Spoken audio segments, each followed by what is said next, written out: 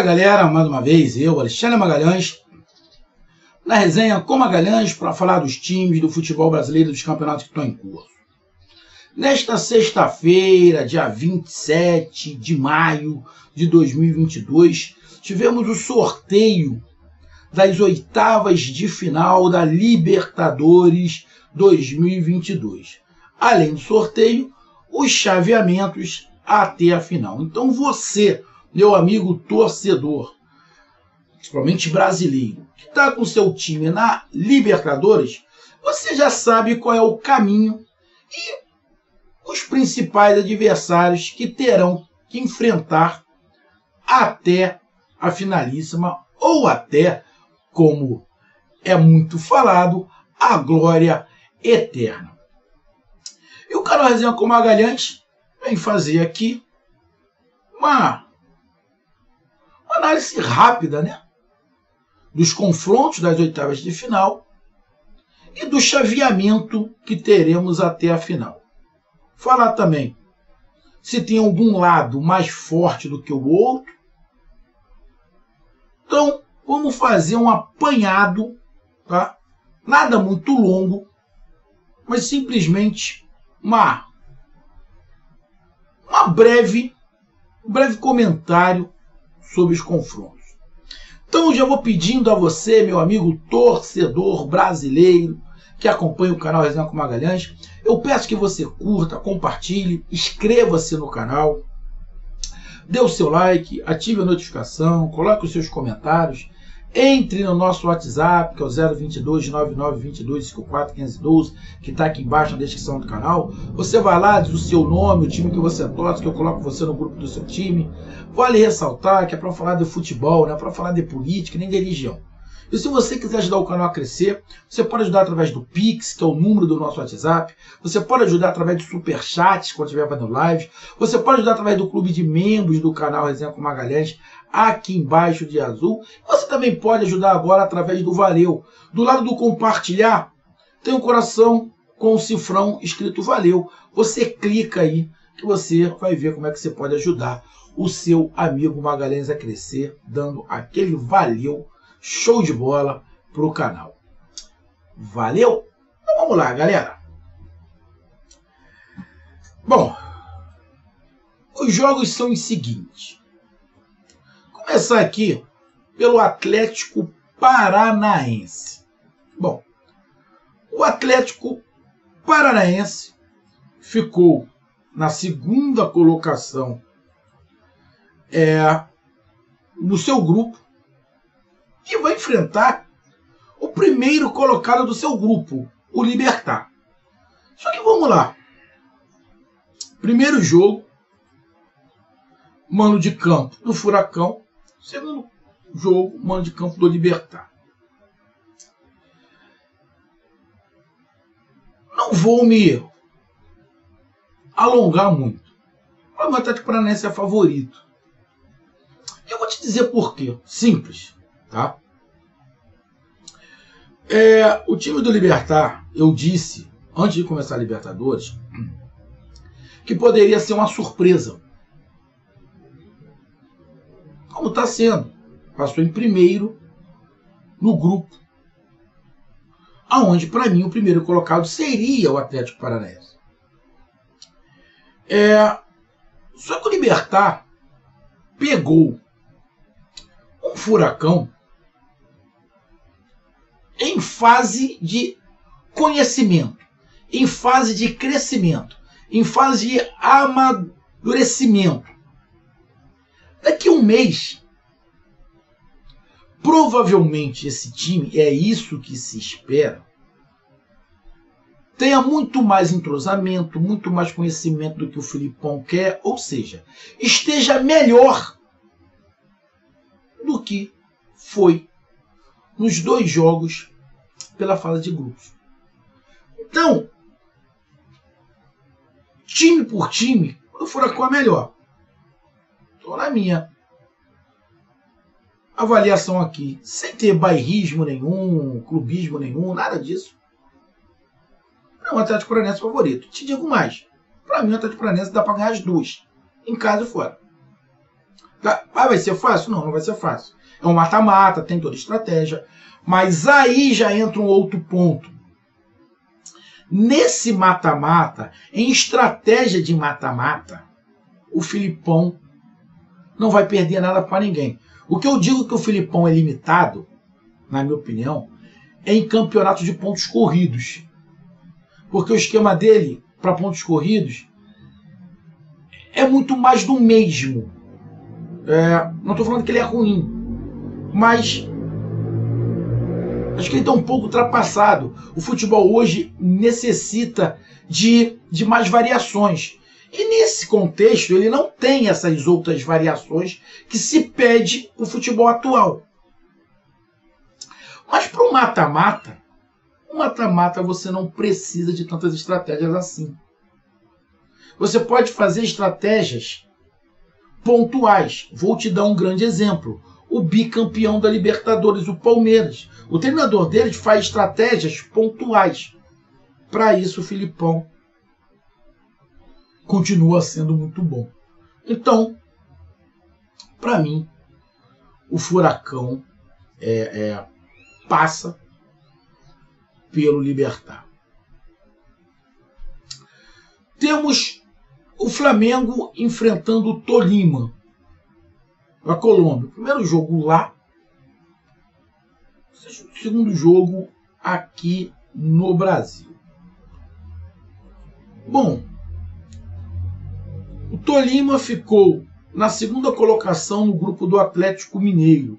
Fez o mesmo número de pontos do Atlético Mineiro. E na última rodada ganhou do Galo fora de casa, ganhou aqui em Minas. É, se você olhasse rápido, fazer, fizer uma avaliação rápida, você vai colocar o Flamengo como favorito. Mas todos sabem que eu trouxe para o Flamengo. Mas eu não sou cego, não sou mimizento, não sou viúva de Jorge Jesus e não sou Nutella. Não sou torcedor de modinha, torcedor que virou Flamengo em 2019.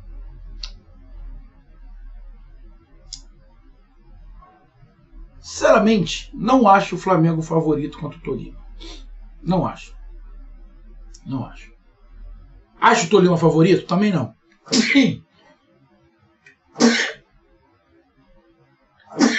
Eita! Até por falar do Flamengo espirra. Até uma certa alergia. E olha que eu sou flamenguista. Todo mundo sabe disso. Eu não escondo de ninguém. Mas acho que é 50% para cada lado. 50% para cada lado. Por que, que eu acho que é 50% para cada lado? Eu estou sendo muito rigoroso com o Flamengo? Não. O Flamengo não vem jogando nada. O seu treinador na minha opinião, treinador do Flamengo, Paulo Souza, é fraco. Eu não consigo ver o time do Flamengo evoluir. Eu não consigo ver o time do Flamengo jogando mais do que vem jogando. Que é bem limitado. Tem esporadicamente momentos.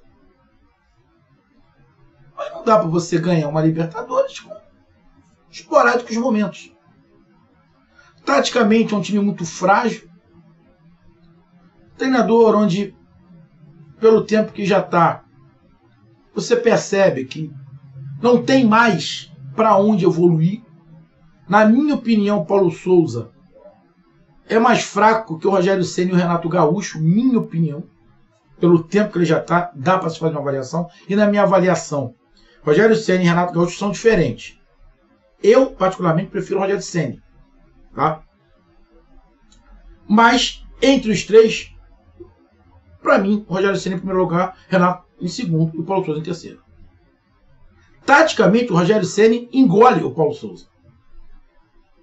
Para Libertadores você precisa de um treinador tático também. O Flamengo taticamente é muito limitado. Então, é, eu não vou ficar iludindo e nem ficar fazendo média com o torcedor do Flamengo. Lambo os beijos se o Flamengo passar pelo Tolima para mim é 50% para cada lado. Vai depender muito do que aconteça no segundo jogo, no primeiro jogo. Depende muito do que acontecer no primeiro jogo. Tá? Depende muito do que aconteceu no primeiro jogo. Então, para mim, Flamengo pegou um adversário que vai complicar muito. Muito mais por deficiência do Flamengo, na minha opinião, muito mais por deficiência do Flamengo, do que é, qualidades do Tolima. Porra, mas ele jogou no grupo do Atlético Mineiro e ganhou do Atlético Mineiro em casa. Daqui a pouco eu vou falar do Atlético Mineiro, que também não está isso tudo. O Atlético Mineiro vem caindo. Eu venho falando disso desde o início do ano. O Atlético Mineiro vem caindo. O treinador do Atlético Mineiro é outro, que não fez quase nada. Veio na onda do Cuca. Só que ele tem que fazer alguma coisa dele. E parece que agora ele não está conseguindo. E o time vem dando uma caída. Agora começa a colocar a culpa em jogador. É jogador, tem que contratar isso, aquilo, outro. É tática. Então, tu ter por base que o Tolima ficou em segundo lugar com o mesmo ponto do Atlético Mineiro, para mim, não é referência. Porque o Atlético Mineiro, sinceramente, não vem fazendo grandes jogos também. Muito parecido com o Flamengo. Acho até o Atlético Mineiro melhor. Mas também não vem fazendo grandes coisas. Não é o Atlético Mineiro de 2021. E é favorito o Flamengo? Não. O Flamengo, se passar pelas oitavas de final, dê graças a Deus.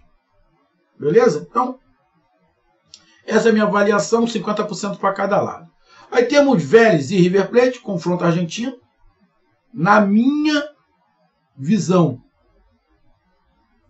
um dos candidatos ao título é o River.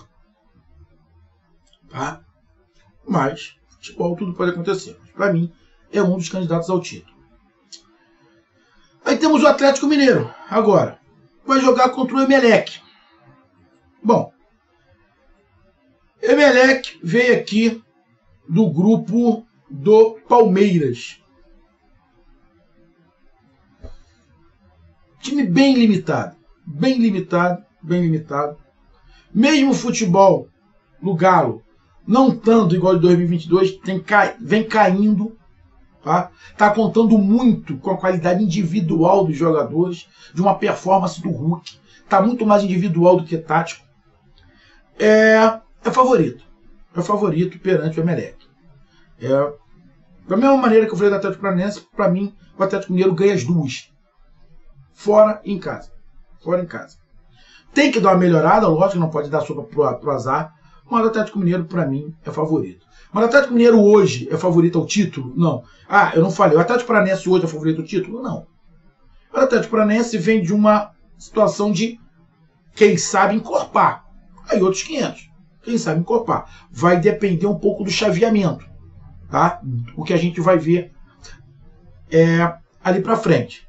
Mas não vejo Atlético Paranaense como favorito, não vejo Flamengo como favorito, e não vejo Atlético Mineiro também como favorito nesse momento, tá? Mas, para mim, Atlético Mineiro tem condições de ganhar as duas e chegar às quartas de final. Aí temos o Palmeiras que vai pegar o Cerro Portenho. Bom, Palmeiras hoje, na minha opinião, o Palmeiras é favorito contra qualquer adversário. Qualquer adversário. São 16 times, correto? O Palmeiras, para mim, é favorito contra os outros 15. Simples assim. Simples assim. E vai pegar o Cerro Portenho, num grupo onde não tinha brasileiro. O primeiro colocado foi o Colom. Ele ficou em segundo com o mesmo número de pontos do Olímpia e um ponto a mais que o Penharol. Cara, Palmeiras ganha as duas. Palmeiras, para mim, é o brasileiro favorito ao título. E o outro favorito, para mim, é o River Plate. Então, eu vou dar uma olhada aqui, porque ainda não olhei. Se os dois, Palmeiras e River Plate, estiverem no mesmo chaveamento, no mesmo lado da chave, aí não vai ter como ter a final. Agora, se Palmeiras e River Plate estiverem de lados opostos, eu já digo aqui de cara, para mim, independente do chaveamento, a final pode ser Palmeiras e River Plate. Tá? Mas daqui a pouco eu vou ver porque eu ainda não vi. Eu estou acompanhando agora. Então, Palmeiras contra o Cerro Portenho. Palmeiras, para mim, e ganha os dois jogos. Tadjeres e Colom.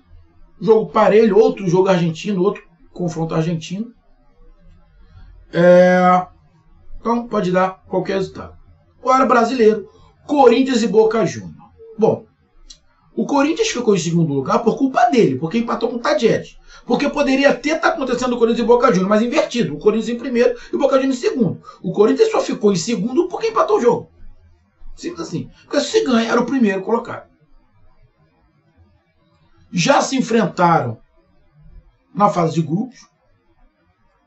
O Corinthians levou vantagem, se não estiver enganado, que ganhou uma e empatou a outra. Vou até dar uma só uma olhada aqui rápida. Acho que foi isso. Deixa eu ver aqui. É, é, é, ó. O jogo lá na Argentina foi 1 a 1 E. Deixa eu ver.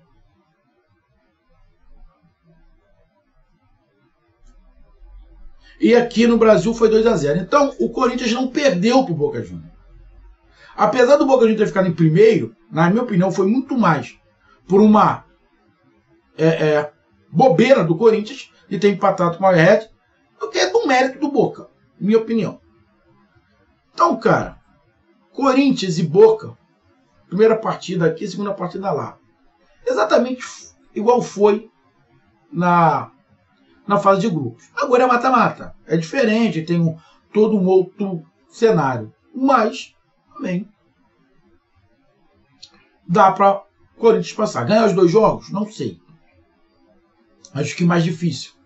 Mas, para mim, também dá para dar Corinthians. Dá para dar Corinthians. É, é, é, dificuldade, lógico. Tá pegando um gigante da América. Mas também dá para pegar o Corinthians. Até porque o Boca Juniors tá pegando outro gigante da América, que é o Corinthians. Então, é um jogo muito parelho para mim. 50% para cada lado. Igual, igual do Flamengo. 50% para cada lado. Mas dá para o Corinthians passar e chegar às quartas de final. E o outro brasileiro, o último brasileiro, o Fortaleza, o destaque para mim desse primeiro momento de Libertadores, dessa fase de grupos, o Fortaleza, passando em segundo lugar no grupo aonde para mim tem um, dos favoritos ao título, que é o River Plate. O Fortaleza fez um jogo muito bom contra o River aqui no Brasil e era para ter ganho, que jogou mais. Ainda foi garfado. Vai pegar o Estudiante, vai pegar outro argentino. O Estudiante é um time enjoado, tá? Um time enjoado, a gente sabe disso. É, ficou em primeiro lugar no seu grupo, mas deu no finalzinho, abriu lá as pernas o seu compatriota Vélez conseguir se classificar. É, no campeonato argentino, ele vem muito bem, obrigado ao primeiro colocado lá na, no Campeonato Argentino, que, que é dividido em Grupo A e Grupo B. É... Jogo complicado. Jogo bem complicado, Fortaleza. Bem complicado. Mas levando-se em consideração que o jogo é daqui a um mês, levando-se em consideração que o Fortaleza fez um grande jogo contra o River Plate, que para mim está no mesmo nível ali do Estudiantes. Estudiantes eu coloco um time também um pouquinho abaixo ali de Palmeiras e River, mas coloco o Estudiantes também como um dos favoritos. Coloca até o Estudiantes mais favorito do que o Flamengo e Atlético Mineiro nesse momento. Porém, eu estou falando isso pelo momento que a gente vem acompanhando estudiantes, tanto na Argentina quanto na Libertadores.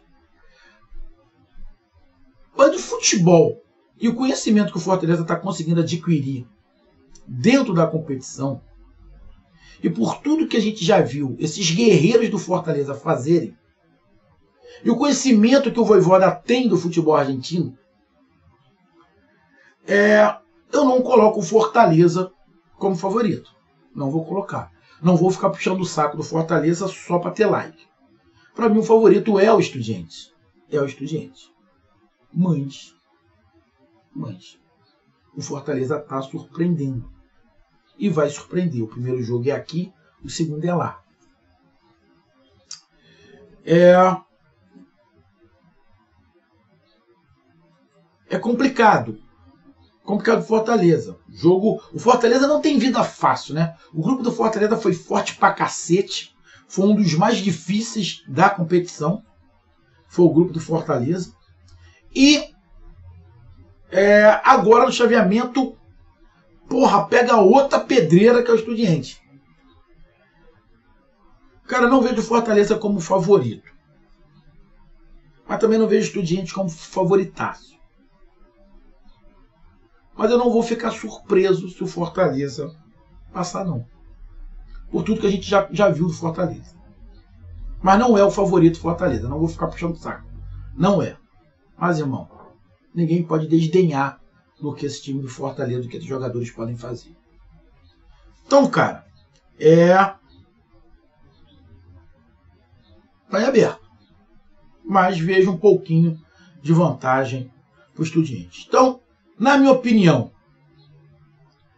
Palmeiras, Atlético Mineiro e Atlético Paranaense são favoritos. É, Flamengo e Corinthians, 50% para cada lado. Não vejo Corinthians e Flamengo como favorito, mas também não vejo outro time como favorito, 50%. E o único que eu vejo o adversário como favorito é o do Fortaleza. Qual é a minha expectativa? A minha expectativa ali, sinceramente, é de 1, 2, 3, 4, 5, 6. Temos seis brasileiros. A minha expectativa é que passe pelo menos quatro brasileiros para as quartas de final. Pelo menos quatro brasileiros nas quartas de final é a minha expectativa. Não vou falar agora quem são os dois times que eu acho que podem sair nas oitavas. É minha expectativa de pelo menos quatro. Agora vamos aqui para o chaveamento rapidinho, tá? Vamos aqui para o chaveamento rapidinho. Bom, é... esse chaveamento, cara, que já foi definido, que eu não tinha olhado, já me mostra aqui que é...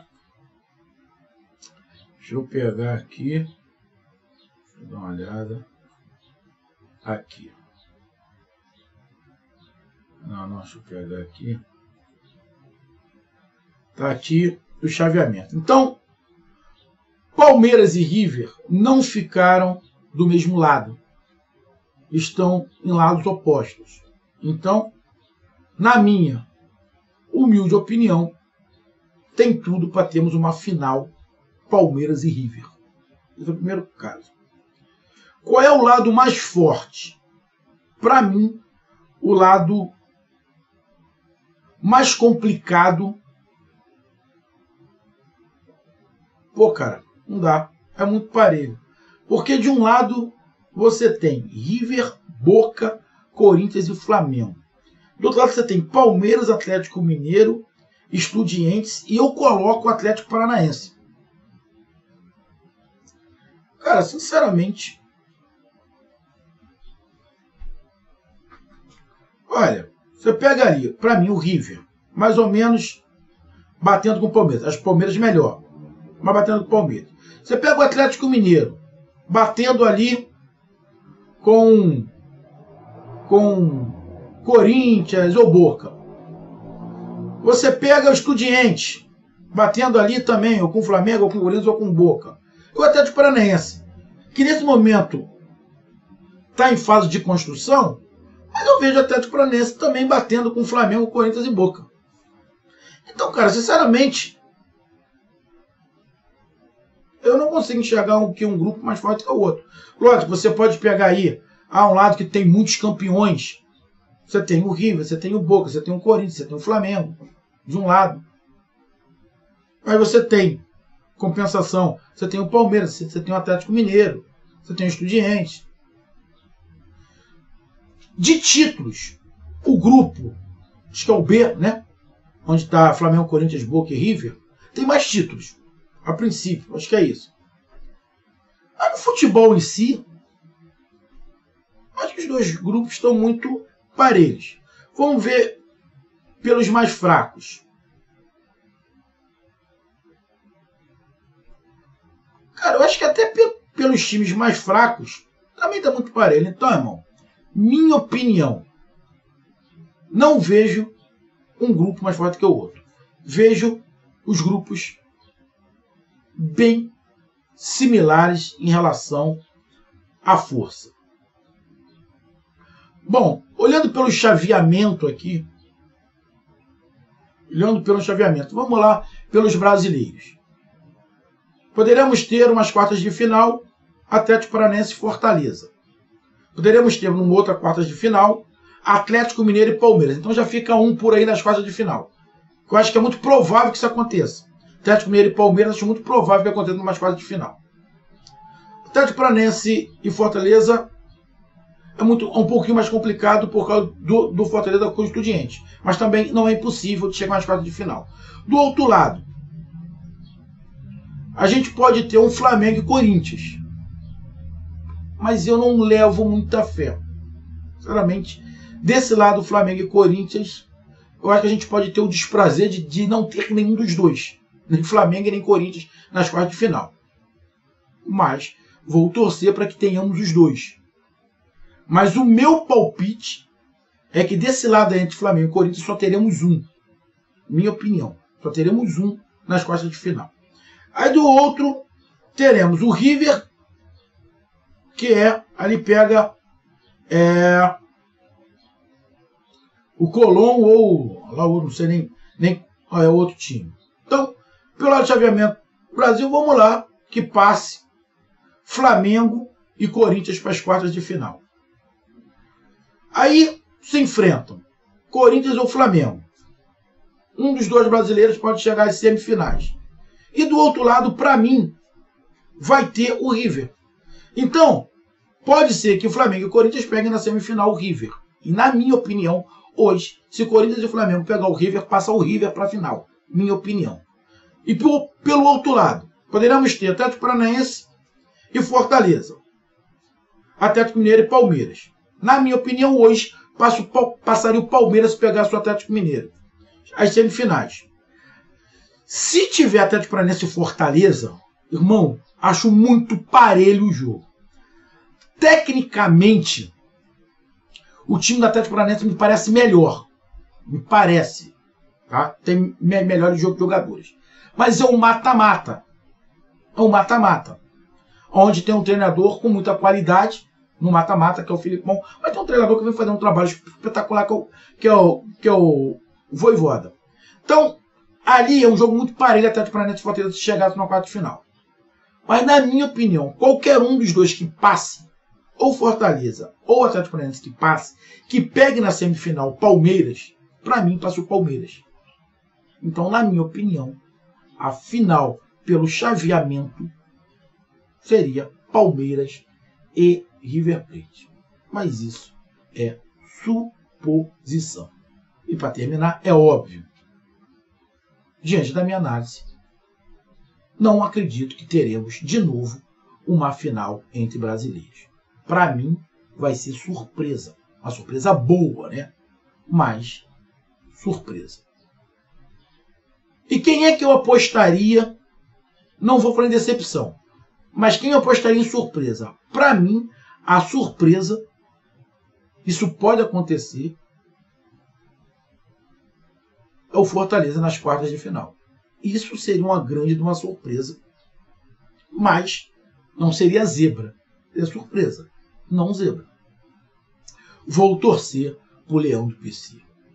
Tá aí, um grande abraço, até mais, valeu, tamo junto, fui!